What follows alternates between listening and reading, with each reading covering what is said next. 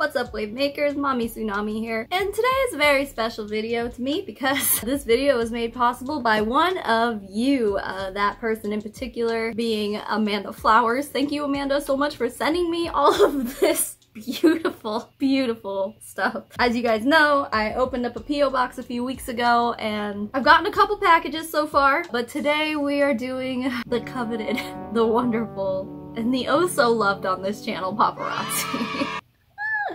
So thank you, Amanda. She sent me some paparazzi goodies, hun. I have never laid my eyes on actual paparazzi jewelry, so I'm so excited to have this. So let's just get started. Let's look at what she gave me. Yes, there is jewelry involved. However, she also sent me a lot of paparazzi um, kind of training material and stuff like that too. I, I just, she said, these pages are from the paparazzi party planner. Thought you might enjoy these as well. Oh, I do, Amanda.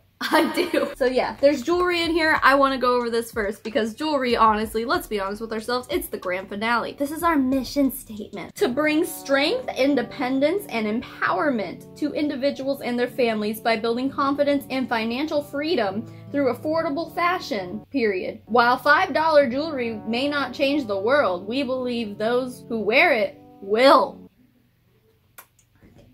Cute. First of all, that's a long mission statement. And second of all, the fact that they even have financial freedom in their mission statement just says a lot about their intentions being a company. They might sit there and go, it's all about the $5 jewelry. Is it though? The back has a note from the founders. Look at all these happy smiling faces. well, okay, actually, I think some of this is gonna be important to go over here. Hello, baby kitty. This is a note from the founders about what a paparazzi party should be. There's not a textbook definition of what a paparazzi party should be. That's the beauty of it! But there are three things that every party needs to be successful. People, product, and preparation. Okay, so let's let's pause here. people. Yes, you need people to be able to buy the product. That's hard to do. I think even just today I got a comment on my original paparazzi video of someone literally defending the company by going, I know a friend who she just did a party last night and she sold 85 pieces. Okay, 85 pieces in one night. One would say that that is pretty freaking good. Uh, they make $2.25 profit on every piece of jewelry they sell. So, uh, that's like 200 bucks-ish. That's not bad. But think about it. Think about how many pieces of jewelry, 85, 87 pieces of jewelry is. That's a lot.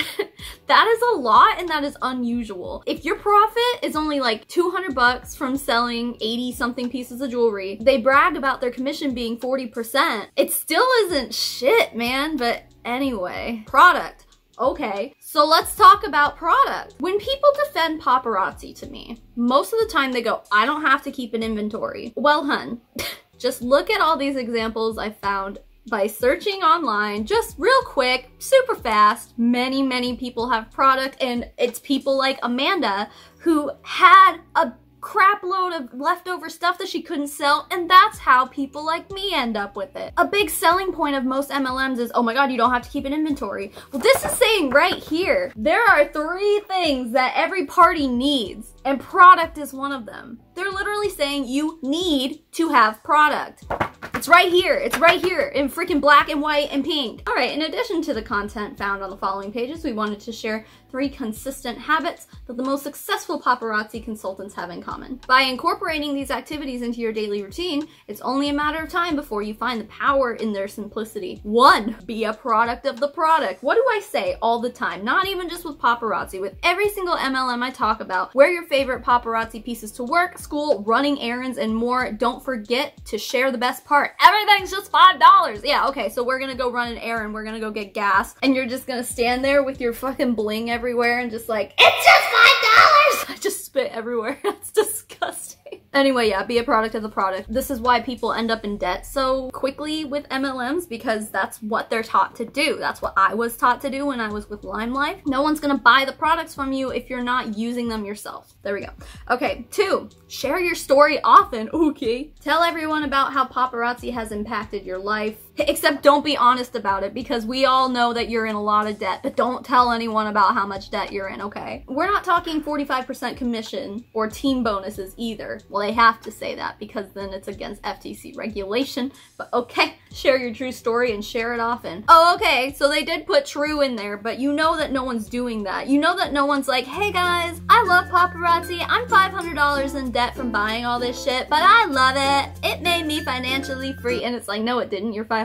Anyway, okay. Be generous with compliments. Compliments break the ice and open the door for conversation by helping people feel comfortable and confident in your presence. And this is why when these people slide into our DMs, it's always, hey, gorgeous, hey beautiful i thought you'd be great at what i do because you're so pretty it's shit like that like because these companies not just paparazzi they all teach you to do that flatter whoever it is you're trying to recruit Flatter the customer. Make him feel good. most importantly keep it fun i don't understand how a jewelry party could be any sort of fun. You are truly changing the world $5 at a time. Fuck you. Okay. Hashtag $5 habit. Oh, and look at that. On the back, we have a compensation plan. So this is probably something that you would give out at your parties. It's not a um, income disclosure statement by any means, but it's basically just showing you and telling you like, this is how you're gonna make money. We've gone over the compensation plan a little bit on this channel, so um, this is not the important thing though. The important thing is really that income disclosure statement, which so far I haven't seen in here, but they only just released it back in November, I believe. So basically, um, this is what we find online. You can find this online very easily. Here's what gets so messed up is that when you get to these higher ranks, the OV being the organizational volume, that comes from your downline. And what's included in that is the inventory that your downline is purchasing. And then of course, this is your downline. These are the percentages that you're gonna get every time someone in your downline buys inventory. See, that's why this is scummy because the uplines are all getting money from people underneath them spending money, not from customers. I mean, we always say, you know, the consultants are the customers. Yeah, I mean, this is just as clearly as true within paparazzi and I mean we saw it with the other page we just looked at when they're saying hey you got to be a child of the product Right. Every time you're being a product of the product, whoever is above you is benefiting off of you doing that. And that's when you have all these people just like getting all of that inventory because also the consultant rank here, there's no personal volume requirement. The next rank and everything above that is at least 50 to 100 PV and I'm trying to remember, I think each piece of jewelry has 2 PV linked to it. So you're basically expected, if I'm correct, if I remember correctly, I could be wrong here, but you're expected to buy 25 pieces of jewelry every single month if you want to maintain this rank. I'm pretty sure that this number includes pieces you may have sold from your like your website or something. I'm not really sure. But anyway, so that's that. Now I have another copy of the compensation plan on a thicker piece of paper because on the back here, accessorizing your success. Um, this is all about the things you get when you rank up. So this all being part of the party pack. Oh, also just the girl changing the world $5 at a time. If you're a Maven A-lister, you're gonna get this Chanel whatever the fuck and this necklace and some plaque. The fact that all of this is coming from a party planning kit just shows how recruitment heavy these parties are meant to be. They have these stupid ass memes and then on the back they're like, oh, look at these things you can get. It's, uh, what?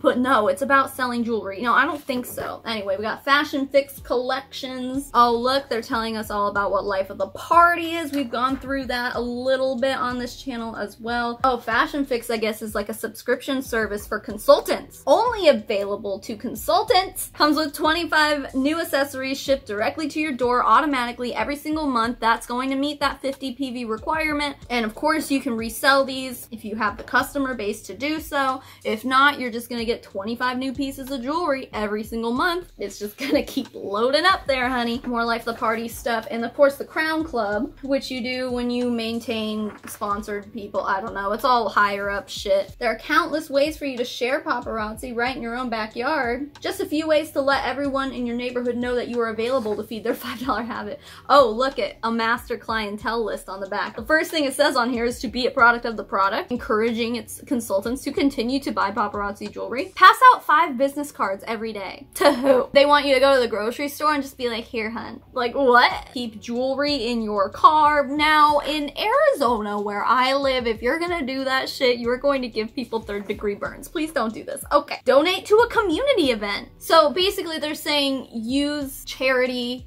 as a means to get customers. Like, that's fucked up. Place a yard sign in your yard. Can you imagine how tacky that shit is? Set jewelry on the checkout counter of a local store. Are they really saying, like, you literally need to just, like, ask someone, hey, I know you own the store. Can I sell my jewelry at your store? What? Throw a launch party, even if you've been a consultant for years. Well, then would it really be a launch party? Give jewelry as a gift and don't forget to include your business card. Okay, this goes back to the whole thing where it's like, you're not supposed to benefit from giving a gift. It's supposed to just be a nice gesture. If you put your business card in a gift, it shows that your intentions are not to be kind, it is to make sales. Ugh. Place your business information on your car. Yeah, that's not tacky at all. Give a free piece of jewelry and a business card too. And then here's a bunch of people that they want you to give free shit to because that totally doesn't come out of your pocket. Holy shit. There is different stuff on the back of all of these. Here's a party checklist. Oh, look at this. Inventory. Under the gather your supplies list here, it says inventory. It's the first one. The more you stock, the more you sell. We know that's not always necessarily true. As a general rule, plan on a minimum of four to five pieces per party guest. That's a lot of jewelry. Sales bags, yard signs, which by the way, it looks as though you can order all of these through their back office, mirrors, cash box, and money to make change. An apron, which they also sell. Frequent buyer loyalty cards, that's just more money that you have to spend in order to keep your business running. Business. Here's more at the party checklist and after the party.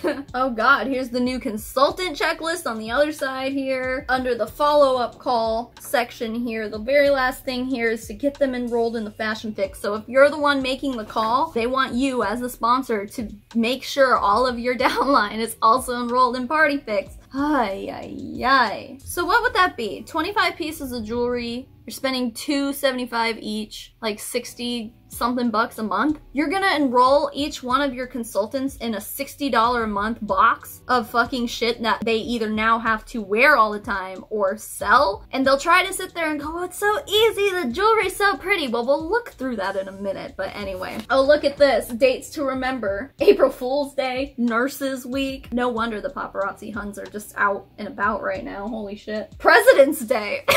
Here, Karen, I got you a President's Day gift. Who fucking does that shit? Um, maybe just like a President's Day sale. They're like expecting you to do that. I don't know. First day of spring, Flag Day, Cinco de Mayo, Teacher Appreciation Week. Yeah, I'm sure every teacher just wants all your shitty $5 jewelry. Administrative Professionals Day. What the fuck? oh, oh, oh, oh! Amanda left us a little note here. She because there's more dates to remember on the other side. Christmas. They spelled it Christmas. Amanda said, can't spell Christmas. Ah, that is the funniest shit. Out of every holiday, you would probably make sure that Christmas is spelt correctly, right? What is it's my party day? Can someone give me an exact date on that? Because I want to know when it's my party day. Is that my birthday? I don't know. Election day? What? Come on. These are so stupid. Okay, what do we have here? These are just some organizational forms. They have at the very top here, you enter your desired retail profit. So say you want to make five hundred dollars that month. They give you the little equation here. They're like, okay, so divide that number by 2.25 and that's how many pieces you have to sell this month. Okay. Thanks paparazzi for teaching me basic math skills. Parties are the lifeblood of any successful paparazzi business, this says, although a lot of people will sit there and argue that all you have to do is go live on Facebook, but no, straight from the fucking horse's mouth here, paparazzi says that parties are the lifeblood of any successful paparazzi business. All right. It looks like they give you, you know, take notes on your business every single day. Thank you, paparazzi. Oh, a glossary of frequently used terms. It's all just kind of basic MLM shit. There's more of the glossary and some paparazzi notes. We're almost done here, guys. Because I haven't gone through any of this stuff yet either. I'm doing this all on camera for you guys, so. Ooh, the Fashion Fix, bitches! This just basically tells you how Fashion Fix works, when it's billed, what to do with all those fucking pieces of jewelry you're gonna get every single month, and then of course they end it with feed your $5 habit. Yeah, that's not predatory at all. Oh, and then um, Amanda also said, enjoy your new jewelry. Ha!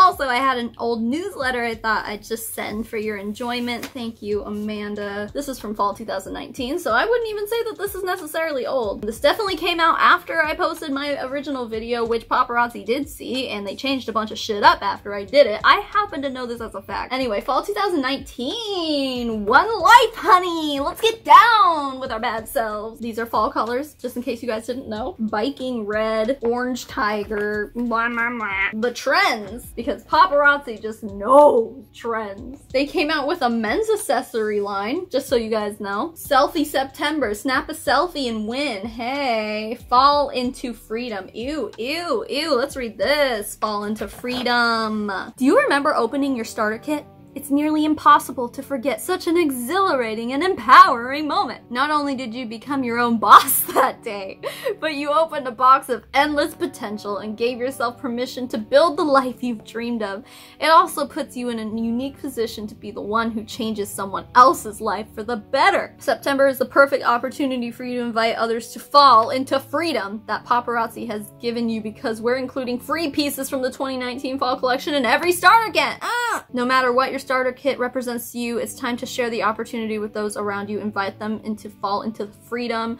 Uh, all right. Okay. I don't think you guys are ready for this jelly. Let's look at jewelry. Now she sent me a few pieces. Okay, quick disclaimer. I'm pretty sure I got all of the ones that she sent me. I put them up here where I normally film and Sparrow and the cats were up here yesterday and I found one of the pieces opened and on the floor and I was like, shit. But everything else is still contained. So I'm hoping that I was able to gather all of these up again. Let's go through it first. Here's here's the first one that I, that Amanda sent me that Sparrow opened for me already. Um, basically, it looks like there's one big giant rock in the middle, and then um, all these little beads all around. This looks like a craft project and I'm not even like trying to be mean. I'm literally saying when I was in middle school, for some reason, there was a trend where all my friends were all making their own jewelry. For Christmas, I asked for a like a bead set and it just came with a bunch of different kind of beads and then like the strings to do. Anyway, this looks like something that we were making. Shitty little red beads on an elastic string and then whatever this centerpiece is. It's like, I'm, I'm seriously not trying to be mean here, but this, I wouldn't pay five bucks for this. This should be sold in a children's store. This should be sold in Justice or some shit. Like, oh my god. All right, moving on. Now this one, it looks like a snap bracelet, but it's not because it's got buttons. So I don't even know how hard this is gonna be to put on. Oh, okay, it has the tag still on it. Oh, this is the Mermaids Have More Fun silver bracelet. Come on, paparazzi. I didn't bring scissors up here. Quit fucking around. Okay. All right. So we got faux leather. Obviously, it's faux leather. They wouldn't sell a real leather bracelet for $5. Some sequins and just other um, shiny things. All right. And then um, buttons some slits in the leather there. Is this bracelet necessarily ugly? No, I mean, it's very blingy and it's very loud. I wouldn't personally wear this unless I was trying to be blingy and loud, but it is cheaply made. I will come out and say that for sure. There's nothing quality about this, but it's fine. I don't think it's ugly and you can like pair it with stuff. But again, I also look at this and I think I would see that in Claire's. You know, this one looks interesting. This is Brass Post Earring, Artifacts of Life. Now, obviously, I have my earlobes stretched, but I did wear these plugs today because they have like little holes that I think I can somehow get some earrings to like hang from them. I don't know, we're gonna try. These are Karen earrings. A Karen would wear this. Although they do kind of look like little bones, and I feel like if they were actual bones, like they'd be cuter, but that's just because I'm emo. What up? You know what these look like too? if you turn them upside down, they look like a menorah, except not enough candles. Anyway, there we go. Um, now all I can see is upside down menorahs when I look at them. I don't know. I'm probably just being like too critical. No, these are not my style at all. you know what? Maybe some Karen somewhere would see those and go, I love those. Now the quality on these, I would say, sure, they're worth $5 maybe. They're not, it's not bad. But like these little gold things, like the texture on it, and then it's like painted all like ugly. I don't see anything cute about these, but someone else might. I'm not here to yuck anybody's yum. Pippi, no, it's not a toy. No, it's not a toy. Don't play with these paparazzi earrings. You'll get cancer. These ones are fucking ugly. these are the Plume Bloom Brown Post. Pippi's playing with the bag, sorry. I just don't have much to say. They look like little brooms. I'm gonna use this to dust off my little counter here. Like, there's nothing cute about this. Ugh. I physically feel sick putting these in my ears. okay. Alright, and I think this is the last piece Amanda sent me. At least this is the last one I can find that didn't get stolen by a toddler or a cat. I'm gonna be careful with where I put stuff from here on out, guys. I promise.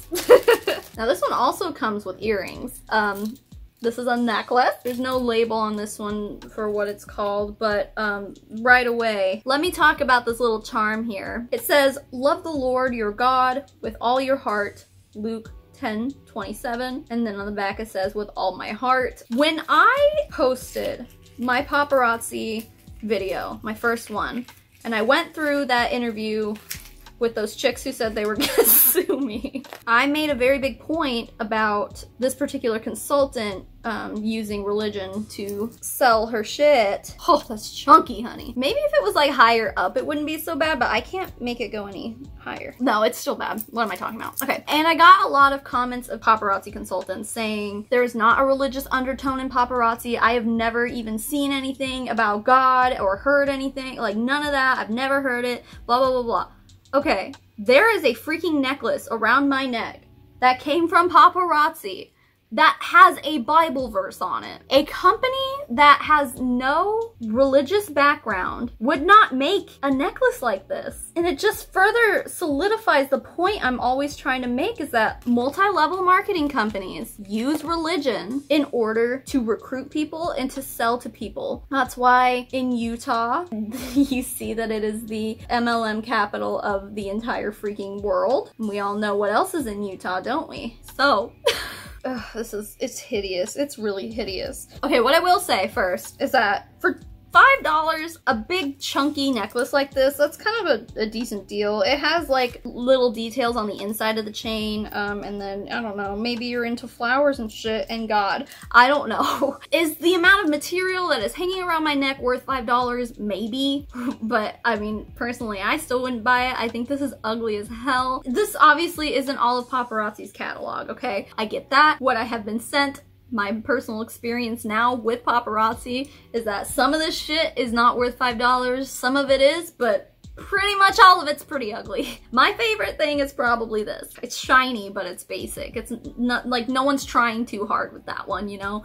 Um, everything else, I'm just like, damn. What my idea is gonna be for here, I have been in contact with Tamara, the Lead Safe Mama, through email um, since I posted that video about uh, her doing some paparazzi testing on her website. We talked about maybe collabing a little bit or something like that. So I'm thinking, you know, I'll, I'll email her again and see what she's up to these days. But I would love to send these to her and have her test for lead. From what I remember, I haven't watched that video in a minute, she did find cadmium, which has been a proven carcinogen or something like that, um, as well as arsenic, but I think they were saying that arsenic is pretty common in small amounts in jewelry. I don't know. I think it'd be cool to send her like this and maybe these earrings that I'll definitely never wear. I um, just all the kind of metal stuff just to kind of see what it's all made of. So I'll see. I'll reach out to Tamara again and see um, if maybe I can send some of these to her and uh, she can test them herself, let me know what she finds, um, maybe do a little collab there. That's my idea here. Obviously, I have to give my biggest shout out to Amanda Flowers for sending me all of this magic. This was great.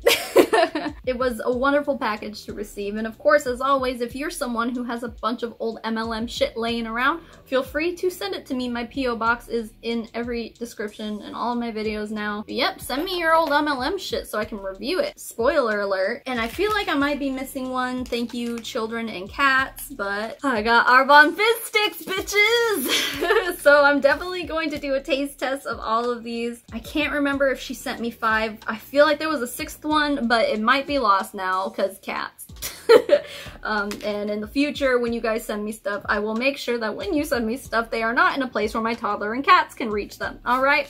Okay, so stay tuned for this video. I'm gonna do a taste test of all of these and let you know what's the dealio with these. Um, I believe the girl who sent me these was named Stephanie. So if you're watching, Stephanie, thank you for these. These will be my next deep dive into MLM products. I'm extremely excited for that. And while we're doing shout outs, let's shout out my glorious patrons. Huge, huge thank you goes to Michelle Matthews, Irene Nordid, Amanda McMahon, Corey Allison, Maria Burchett, Molly Wasilewski, Whitney Gregory, Katrina Rosemarek, Elizabeth Wyatt, Jenny Ruby, Rachel Elliott, Oren, April Lindblom, Bobby, Ashley Nichols, Tuesday the 13th, aka Burning Silence, Justin Kelsey, E. Higgins, Muir Family of Seven, Savannah Krokoskis, Maddie, Boris Geller, Meredith Nakata, Rachel McHenry, Desiree Lopez, Matt Douglas, Molly Bresson, Vanda's Closet, Kim Cartwright, JP, Eugenio Schaefer, Maddie Darley, Kelly Crefield, and Real Fly, Real Eyes, and